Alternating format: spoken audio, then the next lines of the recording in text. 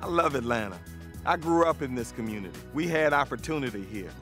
When I grew up, I thought that the sky was the limit for me. And now I want to make sure that every child that comes after me has the same kind of opportunities that I had. And that's why I want to open every single recreation center in the city of Atlanta. Because every child must have what we had when we were growing up. I'm Kasim Reed.